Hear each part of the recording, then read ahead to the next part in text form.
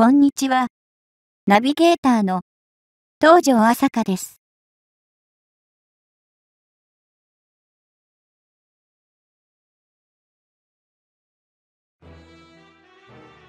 第7艦隊所属の原子力空母ロナルド・レーガンが長期整備が終了し現在、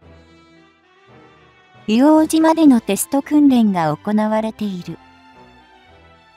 5月12日に河野防衛大臣が明かした。硫黄島では離着陸訓練のほか空母の整備テストも同時6月10日まで実施する。急ピッチに準備が整いつつも、南シナ海を見ればまた、中国牽制をする高校の自由作戦が行われている。現在、南シナ海にはアメリカ強襲揚陸艦が展開されている。艦載機は F35B 戦闘機となる。また、台湾海峡を見ると、イージス駆逐艦が13日に通過している。台湾への軍事圧力を強めている中国への牽制とみられるが、第7艦隊の動きが現在活発化しつつあり、戦力はこと近年にないほど機動力重視とされている。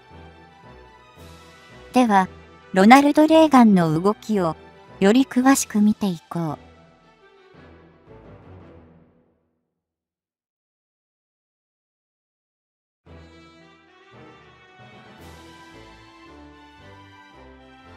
神奈川県の横須賀基地を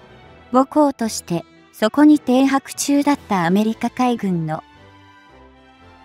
原子力空母ロナルド・レーガンが2020年5月5日、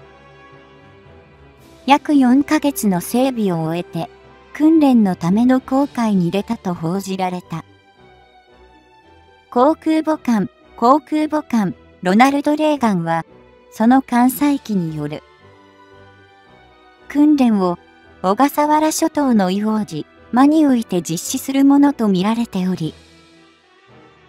太平洋方面で一時的に稼働数が0隻となっていた状態からの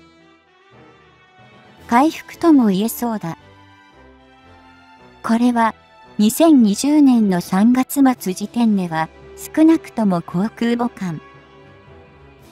ロナルド・レーガンの乗組員のうち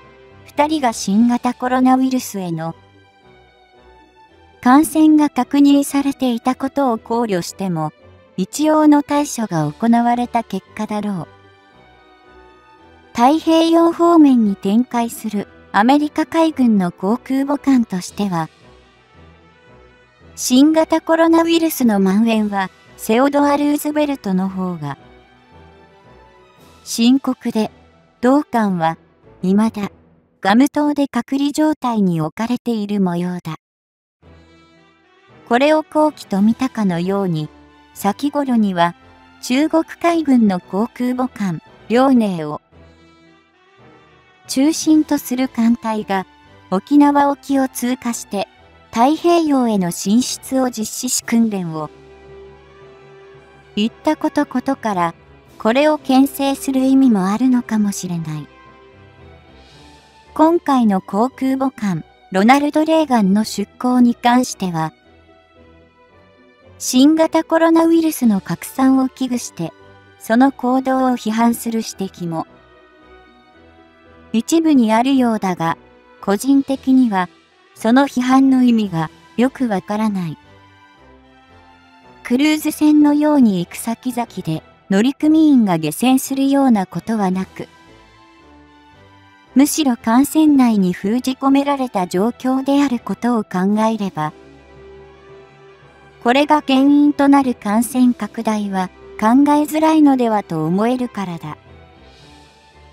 もちろん、アメリカ海軍でもロナルド・レーガンの乗組員全体に、新型コロナウイルスが蔓延する危険性は12分に認識しており、それを見越して感染拡大がないと踏んでの行動だと見える。そうでなければ、ガム島で待機状態のセオドア・ルーズベルトと、同様に横須賀港での待機を継続していたであろうことは明らかであり、自ら戦闘力を下げるような判断は行わないだろう。さて、こうしたアメリカの軍事力に批判的な言説を耳にして、今回改めて考えたのは、そういえば、一体、いつ頃から核アレルギー体質の日本がアメリカの原子力空母の横須賀母港化を許容したのかという点だ。これは今から12年前の2008年のジョージ・ワシントンが最初であり、それまで戦後横須賀基地にはミッドウェイ、インディペンデンス、キティホークと通常動力型航空母艦が配備されていた。ちなみに、キティホークは横須賀基地に配備された最後の通常動力型航空母艦であると同時に、アメリカ海軍自体が建造した最後の通常動力型の航空母艦でもあり、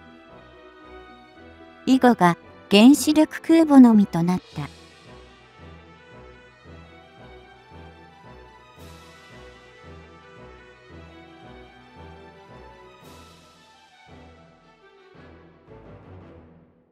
アメリカ海軍初の原子力空母であるエンタープライズは、日本への配備ではなかったものの、1968年に佐世保一時的に入港する際には、猛烈な反対運動が起こり、反対派学生らに多くの逮捕者が出た。時は、まさに、左派学生らによる学生運動最盛期の頃であり、今から考えると、時代を象徴していた感が否めないが、これから40年を経て、すでに原子力空母しか保有しなくなっていたアメリカのあり方に日本は準じることとなった。余談だが、2008年に横須賀基地に配備された初の原子力航空母艦がジョージ・ワシントンであったことも、個人的には日本側の批判を軽減する意図が多少なりとも込められていたのではないかと、もと感じる。これは、ジョージ・ワシントンが全体で10隻が建造されたニミッツ級の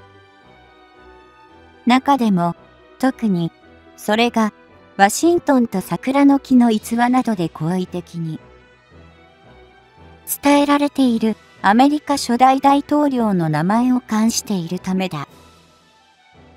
例えばニミッツ級のセオドア・ルーズベルトや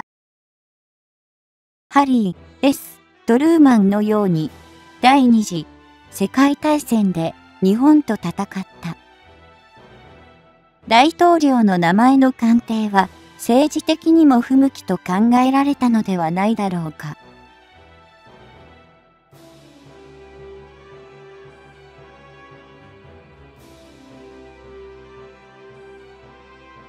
ニミッツ級の最終10番艦、ジョージ、H、ブッシュを除いた9隻は、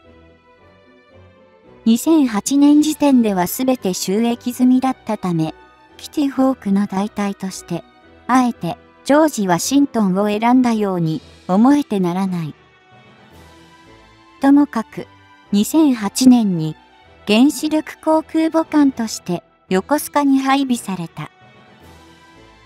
ジョージ・ワシントンだが、くしくも2011年3月11日に発生した。東日本大震災を同基地での整備中に迎えることとなった。当時、未曾有の惨事にもかかわらず、政府からの情報の不確かさに日本国民が福島の原発の状態を知る前に、ジョージ・ワシントンはいち早く、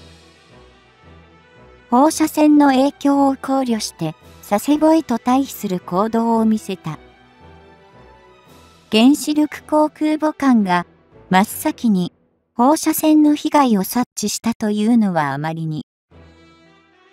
皮肉な現実だというほかないが、有事の危機管理に疎い日本からしてみれば、残酷なまでのアメリカ軍の現実性を見せられたとも言えるだろう。